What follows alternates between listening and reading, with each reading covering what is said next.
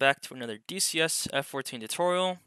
This time we'll be going over landings. So uh, key topics we'll be going over this video are on speed slash AOA, um, landing configuration, um, corrections for holding on speed, and um, descent rates, and also the landing HUD. So uh, let's go ahead and hop right in. So uh, just key topics we're going to explain quickly. Uh, what is on speed?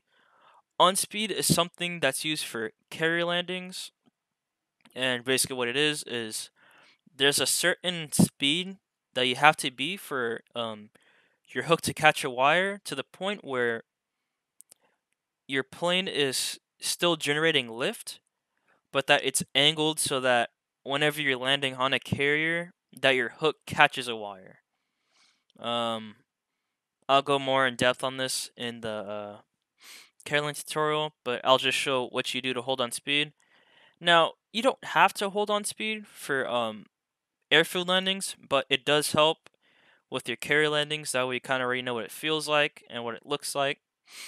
Um, and then we'll go over DLC quickly. So DLC is just um, some slats that are deployed on your wings, uh, separate slats that you can use to uh, actually control your lift um, directly and instantaneously. So if you deploy them outwards, then you'll drop in speed because it's um, kind of breaking your airflow and it's kind of acting like a speed brake. And when you um, put them back in, then your speed goes up and you kind of pitch up more, which uh, is used for carry landings, but it can also be used for airfield landings. So uh, I'll show you that. Uh, before we start, I'll go over the takeoff, not takeoff, your landing configuration and your speeds. So for at 300 knots, you want to have your wings put in auto. Um, at 280 knots, you want to have your gears down. At 250 to 225 knots, you want to have your flaps down. And uh, from there, you just kind of get on speed, which I'll show you visually and you just want to fly it all the way down. Our descent rate always for um, the Tomcat is 700 feet per minute, which is, if you look right here, this is our descent rate, as you saw from the takeoff video.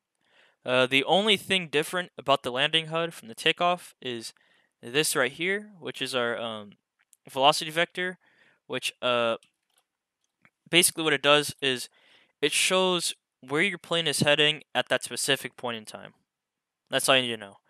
Um, and that bracket right there, which is the E bracket, which is a repeater of this instrument over here, which it'll actually start showing once my um, gears and flaps are down. Uh, that's just a repeater of what that is, and it's just more precise. And to be on speed, which is this, you want to have that E on our aircraft datum, which um, is the same from the takeoff HUD. So we can go ahead and begin. As you can see, we're already at 300 knots. Our wings are in auto, so all we have to do is put our gears down, our speed brake out, which we use for landing because we have such powerful engines. Our speed brake kind of dampens the um, amount of output that it gives. Um, not as far as the actual engines, but by its thrust.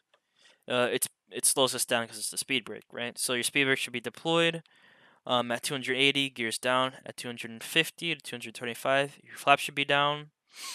Um, there's an indicator I was talking about in the takeoff, how it says up. You know it's down when the white lights are out. Our speed brake should be out whenever the black square is there. Flaps will be down. Our DLC should be deployed, which I'll visually show you. And then we fly the on ball. So, not on ball, on speed. So we'll go ahead and start. I'm just going to flip a switch. That stops this from blinking. So we're going to slow down by putting our throttle to idle, which, um, this is our indicators down here. I forgot to explain this, so this would be pretty important to watch. This is our uh, throttle input, this is our stick input, and this is our rudder input. And that little diamond right there is our trim. That way you can see without having to look at the indicators down here. So, we'll put our throttles to idle, 300, our uh, wings are already in auto, gears are coming down at around 280, so I put the gears down. You can see that they are in transition by the red light and by those red and white lines. getting around 250. Flaps are down. And this is where I deploy DLC. So if I hit the deploy DLC button slash countermeasure dispense, which will go over countermeasure dispense and weapons and DLC toggle and um, carry landing. If you just hit it, you'll see these kind of slats pop up, right? It just helps us slow down more. And um, it's also used for carry landings. And we just kind of slow down until that E rests on our aircraft datum, which is right here. As you can see, this light is showing. Um, I'll go more in depth on this in the carry landing. Right now, just focus on the E. So, this is where some extra knowledge comes in. So this is the PAPI lights.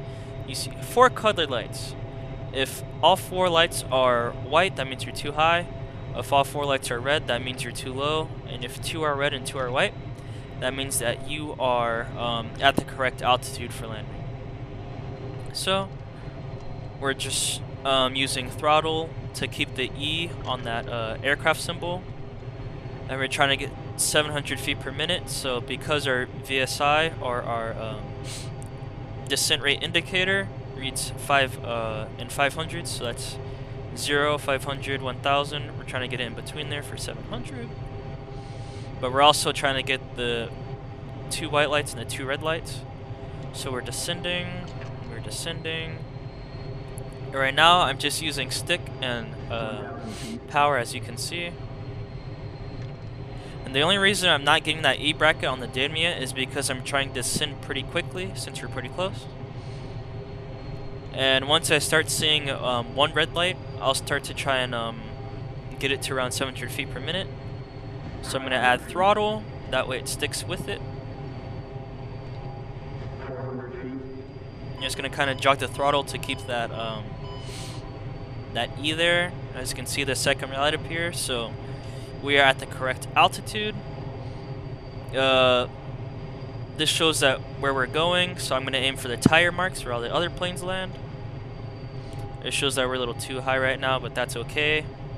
We're back on the right altitude again. And now we're coming for a nice smooth landing, so we're going to flare out, pull the throttle back, and add brakes. I'm using toe brakes, uh, which is why you can't see it, which is down here on the indicator.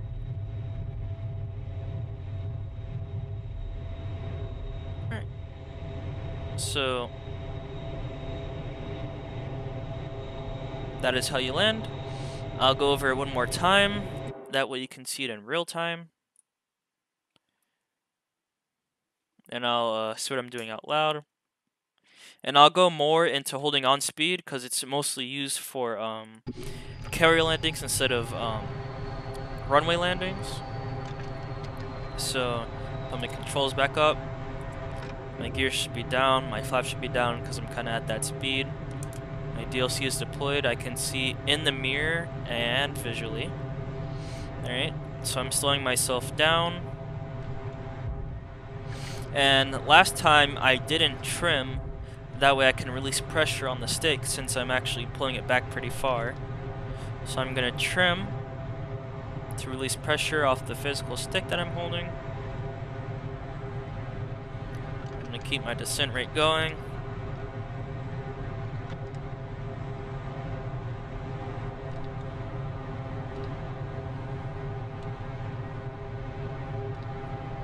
Alright, as you can see, the only reason this is blinking is because um, on actual carry landings, if the hook isn't down, then it'll blink. Like if I put my hook down now, you'll see it stops blinking. But because we're not in a carrier, uh, we won't be using our hook. So to stop it from flashing, you can come down here to where it says hook bypass and set it to field and it stops blinking.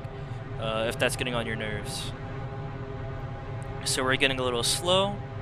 As you can see by this indicator right here, since it's under, that means we're too slow. If it's above, that means we're too fast. So we regulate where it goes using our throttle, and we regulate our descent rate by using pitch. As you can see, we are already on altitude, so we're going to set it to 700 feet per minute. And we're a little too fast, so I'm going to bring it down a bit. Now I'm just going to jog the throttle.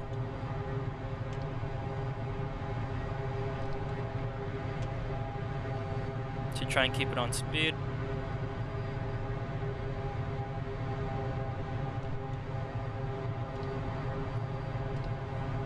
We can visually see if we're misaligned or not, or where we're actually going if you look um, hard enough.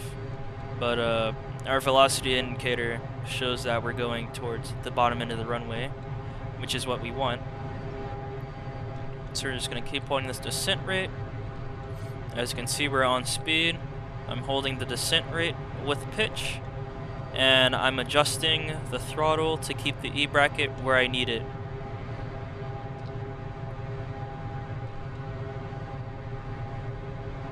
Um, we also use 700 feet per minute on um, carry landings. So if we just kind of hold it from far out like this on speed, uh, it's really good practice for carry landings also. Uh, which is why I was talking about deploying DLC. Because it's not actually needed to land on runways, but uh, it helps with your carry landings. Also, the Lights kind of help simulate um, flying that small area of uh, glide slope uh, whenever using the ball on carry landings. And I'll go more over on uh, the ball and carry landings in that specific video, which is actually next. As you can see, we hold the proper altitude and descent rate um, on speed all the way down. So now that we're on our runway, we can go ahead and flare out. Idle power. Flare out so it descends nicely and add brakes.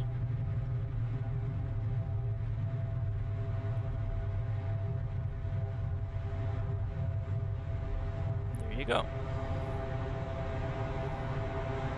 That's how you land the Tomcat. Now we can go ahead and go on to the carry tutorial.